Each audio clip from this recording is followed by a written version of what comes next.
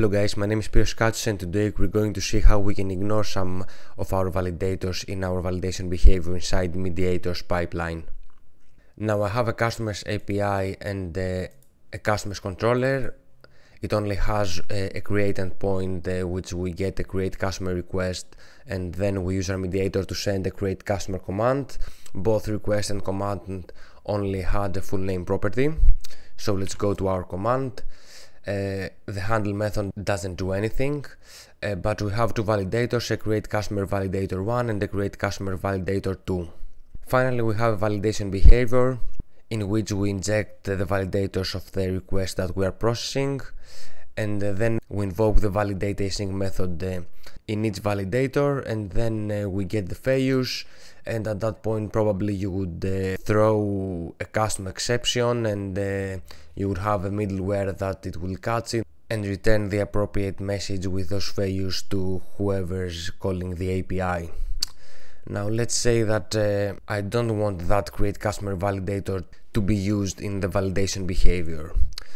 Now since those validators are specific to a command probably you wouldn't need to, ignore one of them but maybe you have an edge case that you want to treat the, that validation failure differently or whatever. So let's see really fast how we can do that. I'll add a new attribute. I will add it in the root of our project for simplicity and let's call that pipeline ignore attribute. Okay, and that needs to inherit from the attribute class.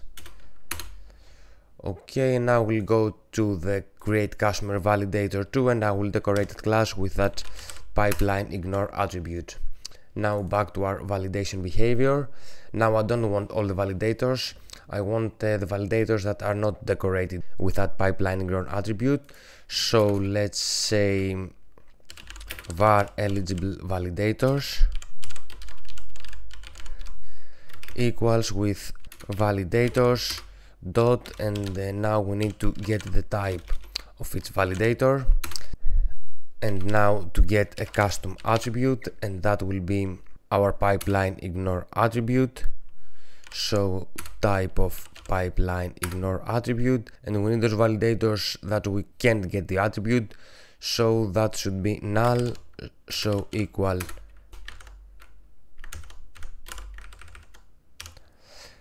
and now we need to validate our request only with those validators. So in here I'll replace validators with eligible validators. Now let's put a breakpoint and let's debug our application.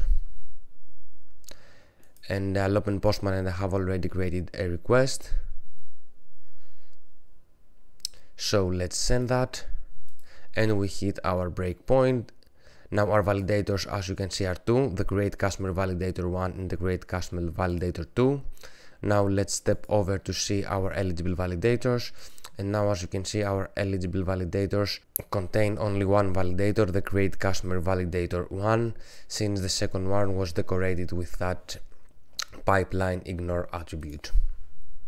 Now if you want to see more about attributes in a previous video that we implemented the, the authorization in the application level of an application that uses a clean architecture.